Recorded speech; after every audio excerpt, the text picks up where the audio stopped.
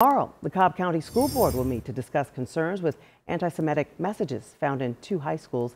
Swastikas and messages praising Hitler are found in Lassiter and Pope High Schools within a week of each other. The Cobb County School District releasing a statement that stops short of calling the vandalism anti Semitic. Now, a new petition is calling out the board about its response. Already 3,000 signatures.